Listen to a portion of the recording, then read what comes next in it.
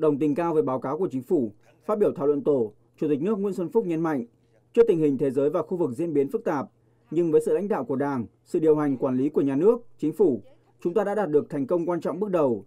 Các chỉ số nền kinh tế 5 tháng của năm 2022 là đáng mừng về tăng trưởng, thu ngân sách, xuất nhập khẩu, nông nghiệp. Chiến lược tiêm vaccine của Việt Nam thuộc nhóm đầu thế giới, thực hiện quyết liệt được thế giới ghi nhận. Đặc biệt, thành công tại SEA Games 31 rất vang dội, được tổ chức tốt với thành tích cao, ứng xử văn hóa, để lại ấn tượng trong lòng bạn bè quốc tế. Những thành quả đạt được rất đáng trân trọng. Tuy nhiên, Chủ tịch nước cho rằng cần lưu ý tới những thách thức mà nền kinh tế phải đối mặt trong thời gian tới, như dấu hiệu lạm phát khi nền kinh tế Việt Nam có độ mở rất cao, giá cả năng lượng toàn cầu chu kỳ này tiếp tục thâm nhập sâu vào nền kinh tế. Các yếu tố đầu vào sản xuất tăng, kéo theo nền kinh tế rơi vào tình trạng khó khăn chung.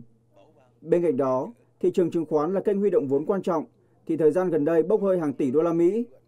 Do đó, cần biện pháp, phương thức hỗ trợ thị trường chứng khoán tốt hơn nữa nhằm ổn định kênh này để dòng vốn đến với doanh nghiệp.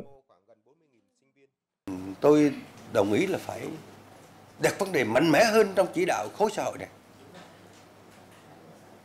Tôi nói về giáo dục hay nói về trẻ em trước.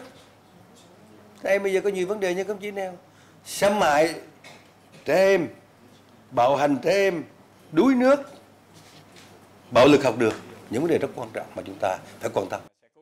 Tuy nhiên, các đại biểu đề nghị cần quan tâm đánh giá kỹ hơn kinh tế vĩ mô, các cân đối lớn vẫn còn tiềm ẩn rủi ro, kiểm soát lạm phát gặp khó khăn.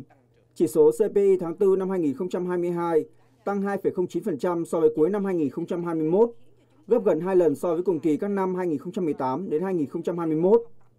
Giá dầu tăng cao, tác động tiêu cực đến giá cả hàng hóa, nguyên vật liệu, chi phí vận chuyển.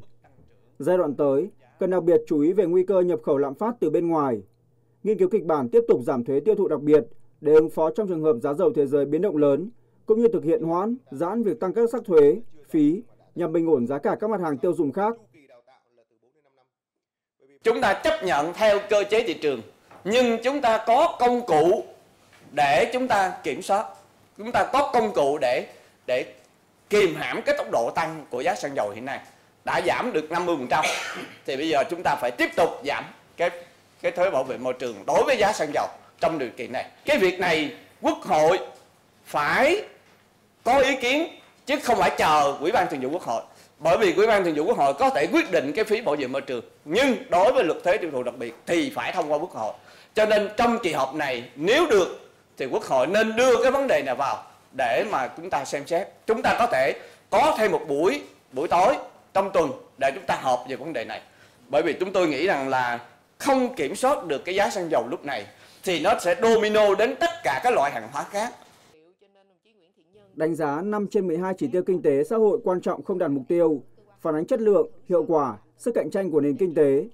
Nhiều ý kiến đề nghị chính phủ cần can thiệp chính sách có mục tiêu để loại bỏ tác động của giá cả tăng đối với người dân, đặc biệt là nhóm dễ bị tổn thương, kiểm soát tốt chuỗi cung ứng vật liệu sản xuất để vừa giảm áp lực lạm phát, vừa giúp giảm chi phí trong kinh doanh, hỗ trợ doanh nghiệp tháo gỡ khó khăn về logistics